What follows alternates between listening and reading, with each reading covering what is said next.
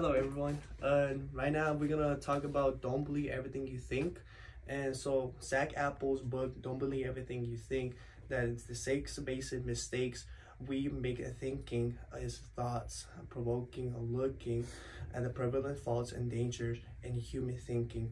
It was released in 2024 and invites readers to critically examine their thoughts and beliefs in order to prevent these cognitive errors and accept uh, Appel's explanations connect the basis using real-life examples and simple explanations and they provide practical, pro uh, practical advice to assist readers overcome their prejudices. The book, Don't Believe Everything You Think, encourages readers to question and analyze their thoughts and views. This allows individuals and to make the better, uh, better decisions and cope with when we think we prefer stories over statics. We tend to confirm our beliefs rather than questions. Then we frequently uh, overlook the role of chance and con coincidence in events. Uh, we misunderstood cause and effect, and we struggle to deal with continuing dissonance, and we rely too heavily on memory and in a quickly changing in the world full with conjectural information, the constants presents and don't believe everything you think are virtual. The article educates readers to be skeptical of information they come across and not accept everything they hear. A true the applications uh, recommends uh, these strategies for improving people's capacity to assess information and make decisions uh, Appel's investigations into cognitive-based biases and errors serves and reminders to readers uh, to pause on uh, evaluating the reasons and behind truths and judgments. Uh, by revealing the underlying process, the influence of our thinking, he invites readers to embrace intellectual humanity and engage in a conscientious practice of self-examinations and self-improvement.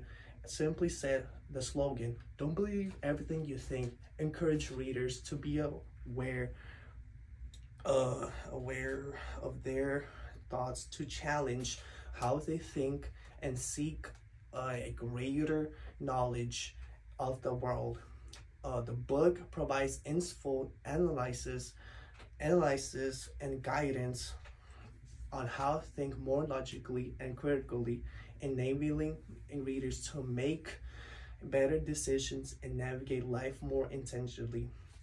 Throughout, don't believe everything you think. You are encouraged to tolerate ambiguity and realize the limits of your cognitive powers.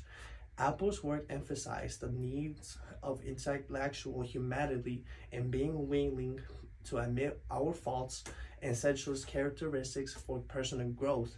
The actual progress it also emphasizes the importance of being open to ideas and varied perspectives.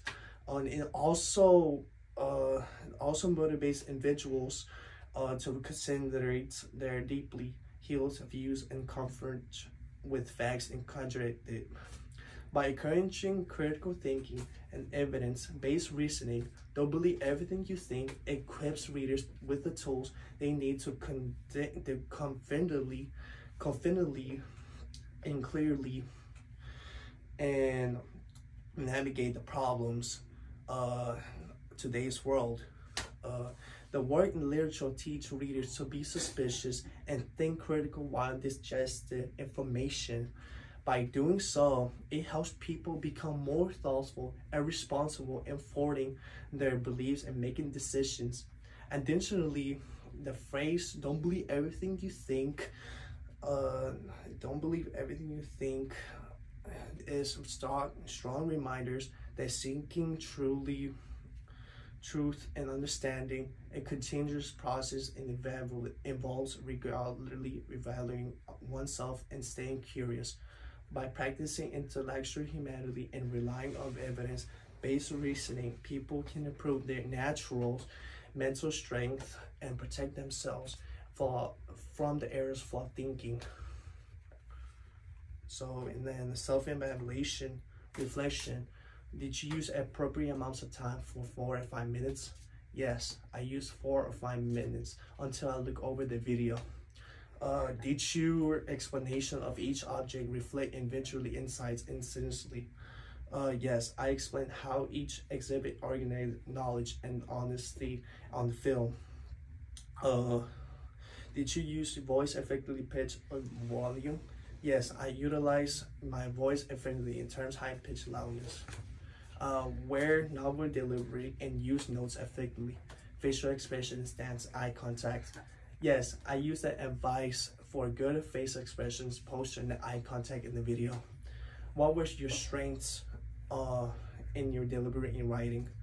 Uh, my strengths were composing the outline in this paper, and that is teaching me analytically and Bailey abilities as well finding a book reference references to help me grasp, uh, grasp the title uh, in the body and the conclusion of paragraphs.